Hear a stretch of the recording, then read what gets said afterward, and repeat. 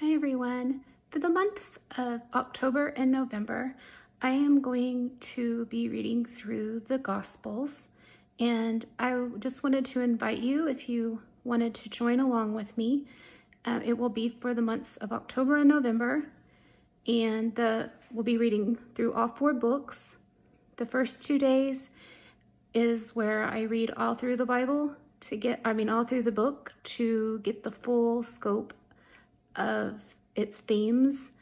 And then this third day is what I call prep day, where that's you can read like a commentary or look at the beginning of your Bible, see if there's an outline for that book. Um, then the rest of the days will be filled with reading through either two or three chapters a day. And then the last day is a time to reflect back on what God has shown you. If that's something you're interested in, I'll put a handout or a screenshot of a graphic that I made with what we'll be reading each day. And if you do decide to do this, comment below and I will pray for you as we go through.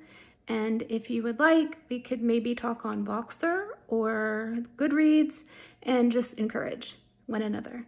All right, bye.